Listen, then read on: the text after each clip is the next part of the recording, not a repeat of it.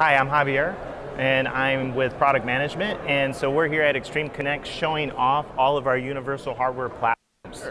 Yeah, so we're demonstrating our universal hardware platform family, which you can run either Switch engine or Fabric engine on.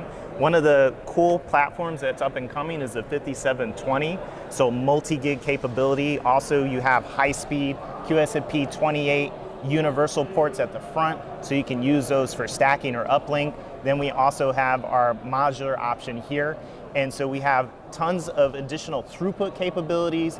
So you're not going to be hitting a, a large oversubscription ratios you would um, with other type of lower end platforms. And so this has given us the capability to run multi-gig, not just to access points that are connected here, but other IoT devices, camera devices, you know, high throughput, high power requirements. This is the platform, our go-to platform in those specific scenarios.